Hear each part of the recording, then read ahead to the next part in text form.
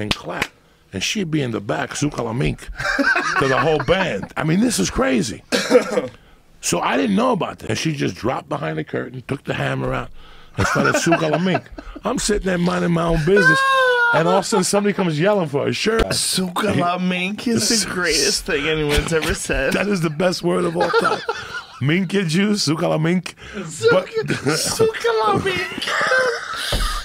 well, it's minkia. Uh, But when they say suka, they cut it short. What is the word? What does it mean? Minkia means suck my dick. Minkia in the dialect of Italian, suka means suck. Right. Okay. You know, it's so weird how the more is you this go, Spanish? This is Italian, Sicilian.